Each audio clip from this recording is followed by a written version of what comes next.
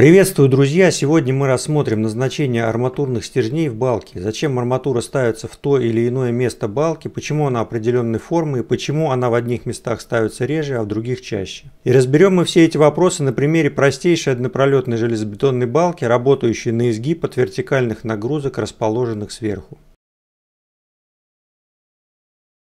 Имеется балочка вот такая пролетом 6 метров на двух опорах по краям. Мы нагружаем ее нагрузкой и балка получает изгиб. Изгибаться она будет в любом случае, какого бы сечения она ни была, маленького или большого.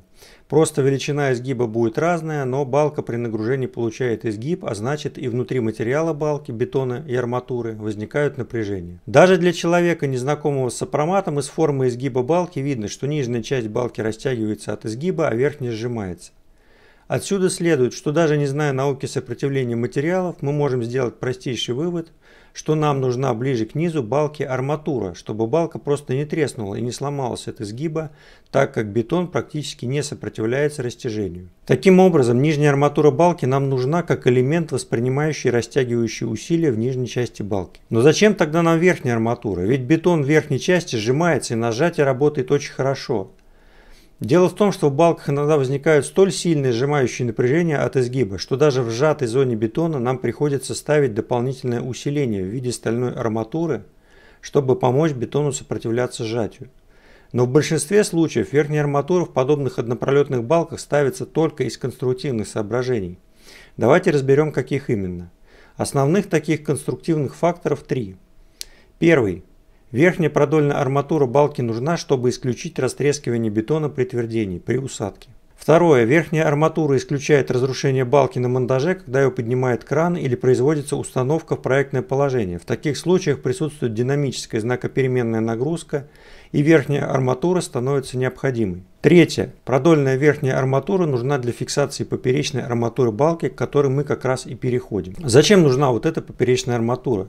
Ведь вроде мы рассмотрели, что в балке присутствует растяжение внизу, сжатие вверху, и вроде как никакой поперечной арматуры не нужно. Однако поперечная арматура нужна, и на это есть два основания. Первое. Конструктивно поперечная арматура ставится, чтобы объединить горизонтальную продольную верхнюю и нижнюю арматуру в жесткий каркас. Грубо говоря, чтобы в процессе бетонирования балки продольные стержни никуда не уехали. И второе.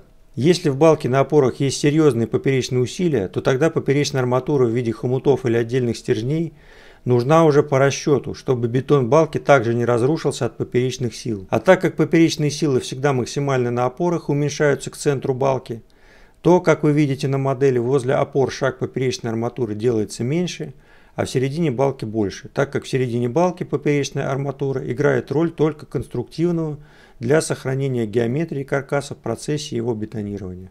Поперечная арматура обычно бывает двух видов. Первый вариант в виде гнутых цельных хомутов, как мы видим сейчас. Это делается обычно, когда диаметр поперечной арматуры 6-8 мм, то есть небольшой. В этом случае легко согнуть и смонтировать такой цельный элемент.